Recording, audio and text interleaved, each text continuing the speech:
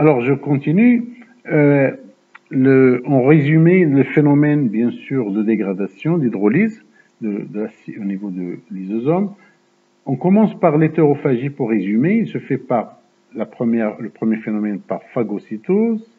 Ce phénomène a, lieu au niveau des cellules spécialisées dans le phagocytose, des grosses particules. Il faut retenir ça. Il est caractérisé il fonctionne avec des grosses particules et des micro-organismes comme les bactéries et les virus. On a formation dans ce cas, comme on l'a dit tout à l'heure, des phagosomes, phagosomes, qui vont fusionner avec les lysosomes, hein, qu'on a vu bien sûr, et pour la digestion de ces organismes. Regardez par exemple ça, il est illustré sur un schéma pardon, sur une photo prise par microscopie électronique à transmission. On voit ici le globule blanc, macrophage, qui va digérer, il est en train de digérer, c'est-à-dire faire entrer, avec la membrane, sa membrane plasmique, entrer une bactérie. Ici, vous avez déjà une bactérie qui est déjà phagocytée et qui sera amenée, emmenée vers les lysosomes secondaires pour être digérés, pour être détruits.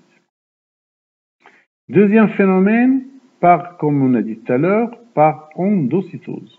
L'endocytose est un processus au cours duquel la membrane d'une cellule la membrane plasmique d'une cellule enveloppe et absorbe des particules comme les macromolécules, c'est-à-dire molécules exogènes qui viennent de l'extérieur. Ces molécules exogènes sont d'abord versées dans des petites vésicules appelées endosomes précoces. Ensuite, ils passent vers des endosomes tardifs. Ces derniers fusionnent avec des lysosomes primaires et donnent des lysosomes secondaires qui sont le lieu de la digestion de ces molécules. Alors je précise, précoce ça veut dire initial, avant, et tardif ça veut dire après. Donc il y a deux vésicules qui vont se former, il faut les distinguer. Alors sur ce, cette photo prise par microscope électronique à transmission représente en quatre phases l'endocytose d'un certain nombre de substances, de petites substances qui se présentent sur, au niveau de la, membrane cytoplasmique, et cette membrane va les enrober, ils vont les faire pénétrer pour aller dans le lysosome secondaire où il y aura leur dégradation. Le troisième phénomène s'appelle l'autophagie. Dans ce cas, il s'agit des organites, euh, des parties d'organites non fonctionnelles à l'intérieur de la cellule. Alors, il permet la dégradation de, structures pardon, cellulaires, comme les réticulomes endoplasmiques lisses, une partie qui ne sert à rien, ou dans les mitochondries abîmées.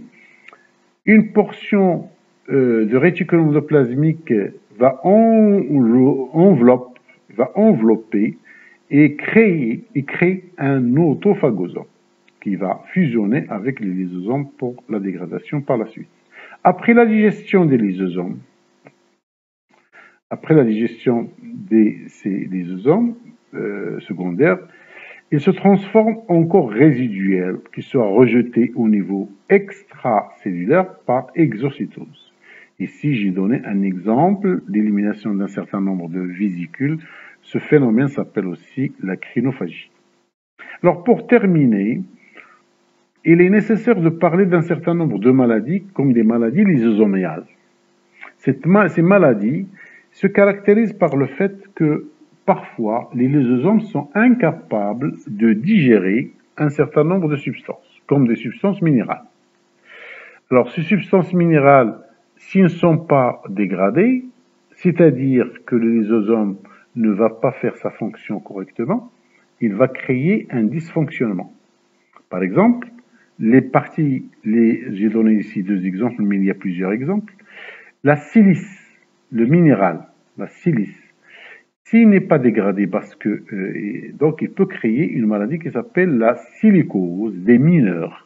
Les mineurs, ce sont les gens qui travaillent dans des mines, soit des mines de fer, soit des mines de charbon, etc. Ils, peuvent développer cette maladie, la silicose, à cause de la silice qui n'est pas dégradée par les lysosomes.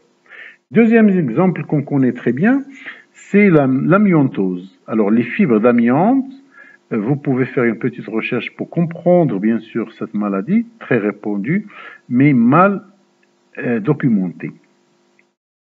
Lorsque les fibres d'amiante qui se trouvent euh, au niveau de, des, maisons de construction, dans les bâtiments, hein, vous faites une petite recherche pour comprendre, et ils peuvent bien sûr peuvent les respirer euh, et ils peuvent bien sûr provoquer euh, une maladie euh, grave qui s'appelle l'amylontose, c'est une forme de cancer au niveau des poumons.